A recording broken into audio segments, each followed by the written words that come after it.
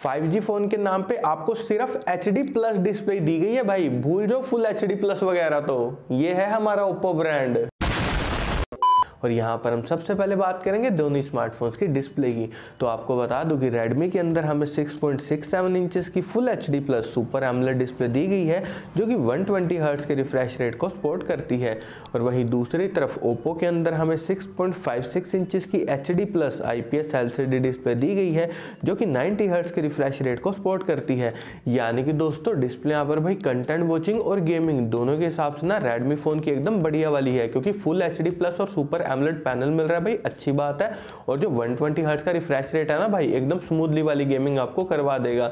लेकिन यार ओप्पो ने तो यहाँ पर भाई बेकार डिस्प्ले दी है, क्योंकि सिर्फ़ एचडी प्लस दी है यार। बिल्कुल जस्टिफाई नहीं कर रहा भाई प्राइस पॉइंट को। ना कंटेंट वॉचिंग में मज़ा आएगा, ना ही गेमिंग में मज़ा आएगा आपको। ये मैं आपको पहले ही बता देता हूँ। ये सब क्या देखना पड़ रहा है? अच्छा है मैं अंधा हूँ। और अब बारी आती है दोस्तों ऑपरेटिंग सिस्टम की तो यहाँ पर Redmi का phone out of the box Android 12 के साथ में आता है, जो कि मी आई थर्टीन पर बेस्ड है। वहीं दूसरी तरफ़ Oppo का फ़ोन भी out of the box Android 12 के साथ में आता है, जो कि कलर ओएस 12.1 पर बेस्ड है। और दोस्तों, अब बारी आती है चिपसेट की तो Redmi फ़ोन के अंदर हमें Snapdragon four gen one five G chipset दिया गया, जो कि सिक्स नैनोमीटर टेक्नोलॉजी पर बेस्ड है। वहीं दूसरी तरफ़ ओप्पो के अंदर हमें Dimensity eight one zero five G chipset दिया गया, जो कि सिक्स नैनोमीटर टेक्नोलॉजी पर बेस्ड है। वैसे तो दोस्तों डे टू डे परफॉर्मेंस के हिसाब से यहाँ पर दोनों चिपसेट बढ़िया हैं, लेकिन यार, अगर हमें इन दोनों में से किसी एक को गेमिंग के लिए भी चूज़ करना हो ना भाई, तब आप यहाँ पर रेडमी की तरफ़ ही ज़रूर से जाइए, क्योंकि स्नैपड्रैगन फोर जेन वन भाई बढ़िया चिपसेट है गेमिंग आपको मज़ेदार वाली करवा देगा। और एक और बात दोस्तों वन ट्वेंटी का रिफ्रेश रेट इसी में मिल रहा है, आपको स्मूथली गेमिंग भी यही करवाएगा। ओप्पो की तरह मत जाना भाई चिपसेट तो बढ़िया है, लेकिन जब एचडी प्लस डिस्प्ले दिया तो क्या ही गेमिंग आप कर पाओगे इसके साथ में? पैसा बर्बाद! और अगर हम बात करें यहाँ एन टू स्कोर की तो रेडमी फ़ोन का आता है तीन लाख अस्सी हज़ार के करीब, वहीं दूसरी तरफ़ ओप्पो फ़ोन का आता है तीन लाख साठ हज़ार के करीब। और दोस्तों, आपको बता दो कि दोनों स्मार्टफोन्स के अंदर हमें U F S two point two वाली स्टोरेज दी गई है। साथ ही दोनों स्मार्टफ़ोन यहाँ पर L P D D R four X RAM को भी सपोर्ट करते हैं।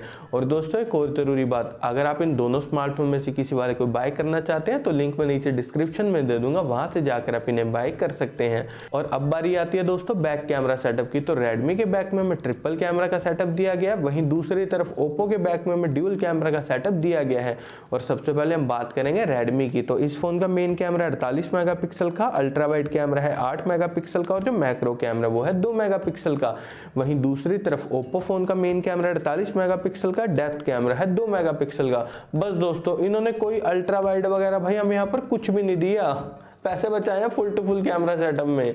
यानी कि दोस्तों बैक कैमरा सेटअप के हिसाब से यहाँ पर रेडमी का फ़ोन ही विनर है। एटलीस्ट यार इन्होंने अल्ट्रा वाइड कैमरा तो दिया भाई, अच्छी बात है। और अगर मैं बात करूँ यहाँ फ्रंट कैमरा की तो रेडमी के फ्रंट में हमें तेरह मेगा का सेल्फी कैमरा दिया गया है। वहीं दूसरी तरफ़ ओप्पो के फ्रंट में हमें सिर्फ़ आठ मेगा का सेल्फी कैमरा ही दिया गया है। यार इन्होंने सारी चीज़ों में कॉस्ट कटिंग करी है।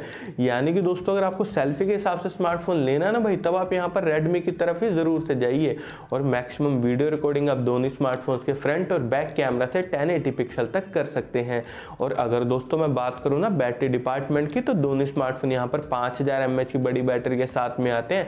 यानी कि भाई, एक दिन का बैटरी बैकअप आपको आराम से मिल जाएगा, उसमें कोई दिक्कत नहीं आएगी।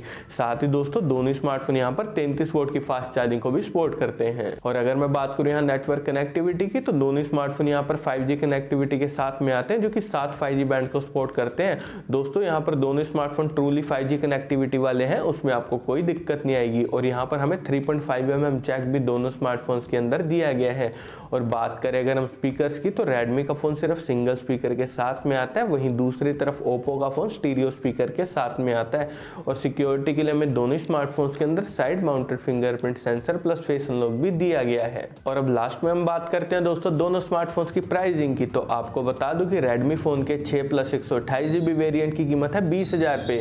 वहीं दूसरी तरफ़ ओप्पो फ़ोन के आठ प्लस एक जीबी वेरियंट की कीमत है सत्रह हज़ार पाँच सौ रुपये और अगर मैं यहाँ पर अपना पॉइंट ऑफ़ व्यू दूँ ना दोस्तों दोनों स्मार्टफ़ोन के लिए तो भाई मेरे अकॉर्डिंग तो आपको ना पच्चीस सौ रुपये एक्स्ट्रा पे करके यहाँ पर रेडमी की तरफ़ ही ज़रूर से जाना चाहिए। क्योंकि इसमें आपको डिस्प्ले भाई कंटेंट वॉचिंग प्लस गेमिंग के हिसाब से बढ़िया मिल रही है, बढ़िया चिपसेट भी देखने को मिल रहा है। तो भाई ओवरऑल बढ़िया डील तो यहाँ पर यार रेडमी का फ़ोन ही बन के सामने आ रहा है। लेकिन ओप्पो सब कुछ तो चलो मान लो बढ़िया दे दिया। लेकिन इन्होंने जब डिस्प्ले ही बेकार दे दिया ना तो यार फिर कोई मज़ा नहीं आएगा फ़ोन चलाने में।